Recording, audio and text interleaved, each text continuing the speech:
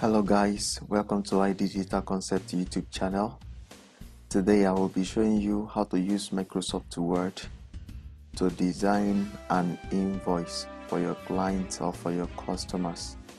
And you will be learning the processes of how you can create your own invoice. If you have not subscribed to this channel yet, kindly consider subscribing to this channel so as to get more videos like this from me onto you. Thank you very much. Now let's go into the tutorial.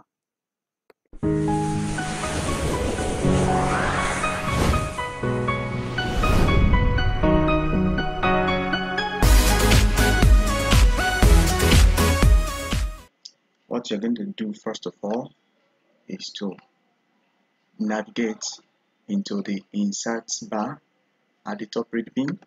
So you click on insert then you click on table and you're going to select the number of rows and columns. So here we have one by one table. We have two by one table okay? On my own voucher I would like to create two rows and nine columns. All right let's say two columns two rows and eight columns two by eight. So after you might have selected it. So you click and then that is it. But before then let us remember to add the name of the organization okay? So for this organization name I'm going to use the, the master publishers. The master publishers so I'm going to select it and align it to the center. Let me also increase the character a bit so that it will be distinguished from the rest of the body. And also what are we trying to create here?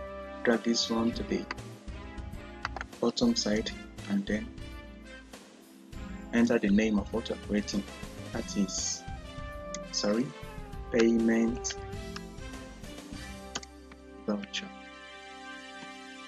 this one needs to be smaller than the rest. So I'm gonna reduce the font size and unbold it. Then move straight to the table.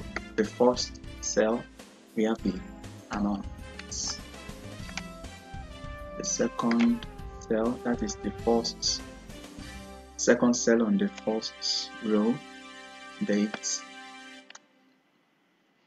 Move to the next tab method of payment. Then okay move to the next place. Cash. Check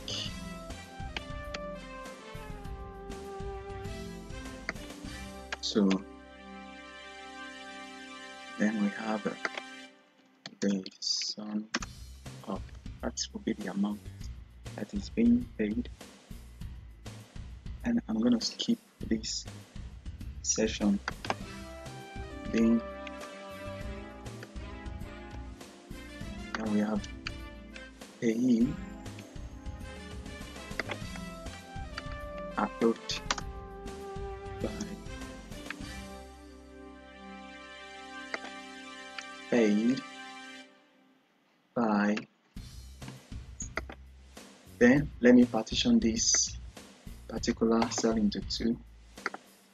What I'm gonna do is to select the cell first.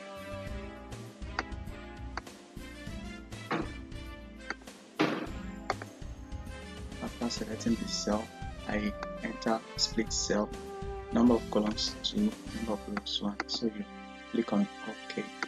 As you can see now the cell has been successfully partitioned into two.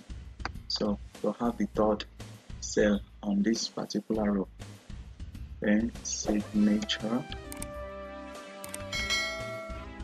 Let us begin to create enough space for entry of data on the table. So I'm gonna come to this corner like this and then immediately I get to the tip of the corner the cursor will change onto an arrow. So that means I can decide to drag it anywhere I like. So I'm gonna drag it to the bottom. Then after that you can see that our texts are aligned onto the top left side. We can actually change this by clicking on this plus sign here.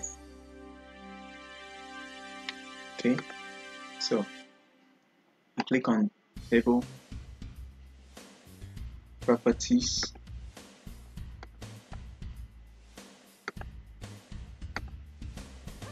so as you can see we have successfully aligned the text.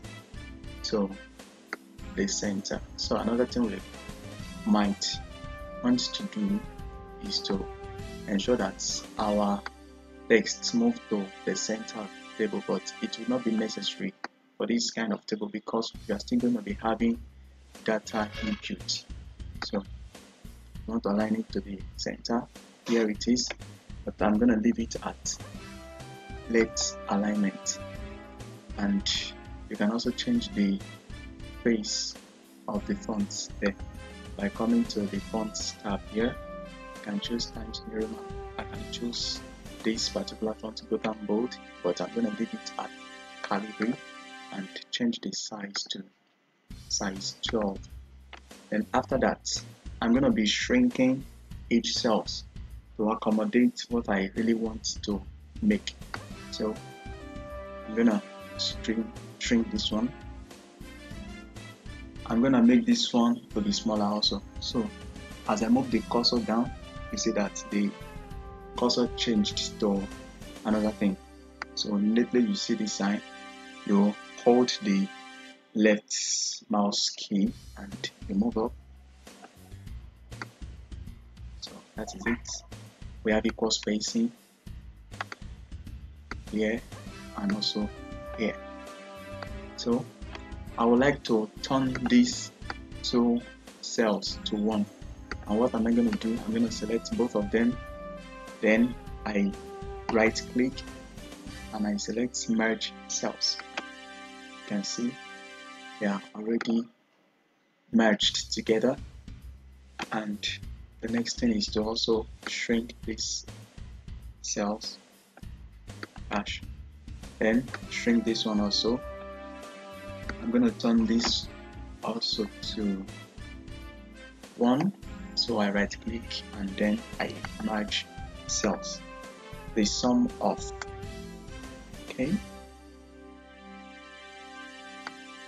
I will create enough space for this so that the person who will be entering data they will be able to put in the right thing mean, we have enough space to put in the right thing. Then paying payment for the purpose of the payment will be here and then the pay the name of the payee approved by paid by and then there is a space to append one's signature. Now I don't like the way this cell this particular cell and this one are the same size.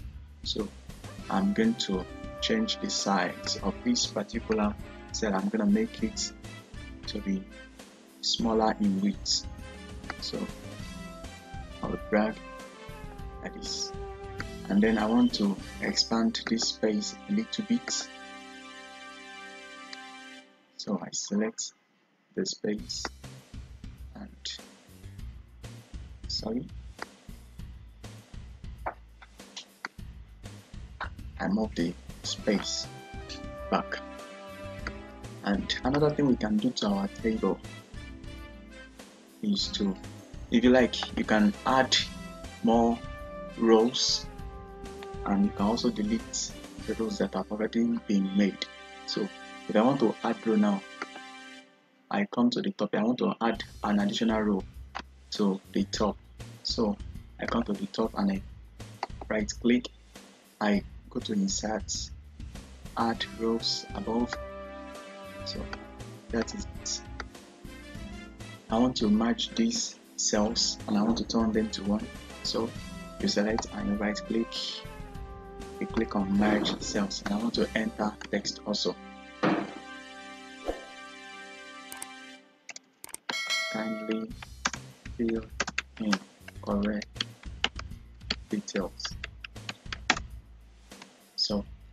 me try and align this to the center.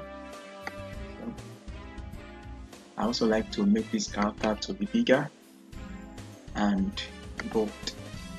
Yeah let me remove this. I want to change this to uppercase. So you select and you hold on the shift button and the F3 button together.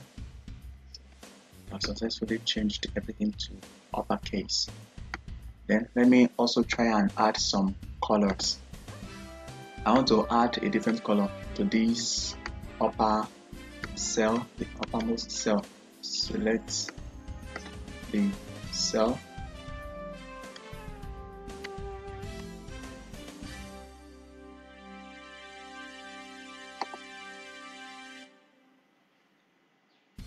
Properties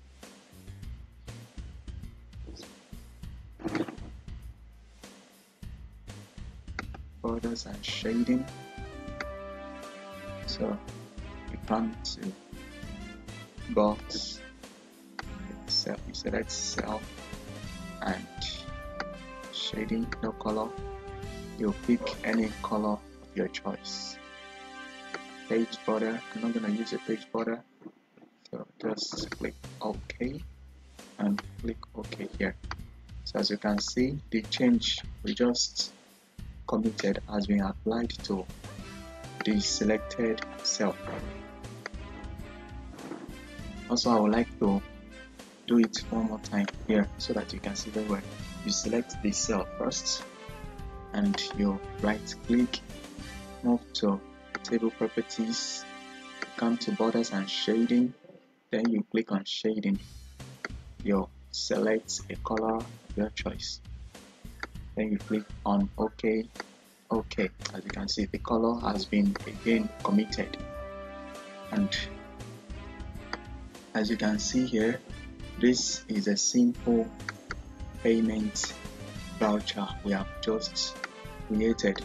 So we can decide to export this in different versions. For the sake of this tutorial i'm gonna export this particular payment voucher in pdf format. That is portable document file. Come to file and you click on save as. The location you want to save it so let me select desktop and I'm gonna add to page the format here. You see this is PDF let us use a different name entirely. And insert payment voucher so you click on save.